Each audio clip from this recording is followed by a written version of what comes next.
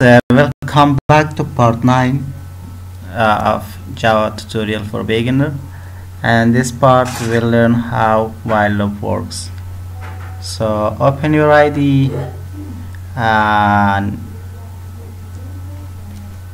let's get started. So uh, this was an example of various while loop also is very simple this is the while syntax okay? This is the while syntax.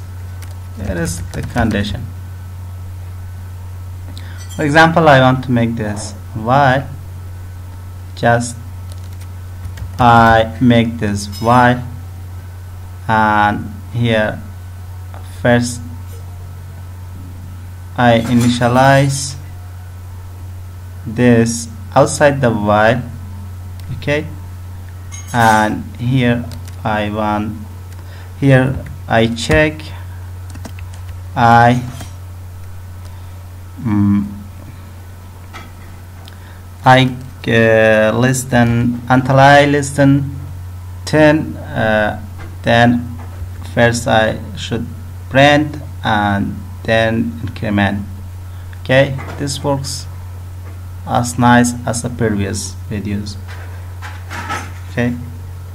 As you can see this was like the previous videos. So here uh, if was true. If here if you have true. Uh, this while uh, well works unlimited. Okay.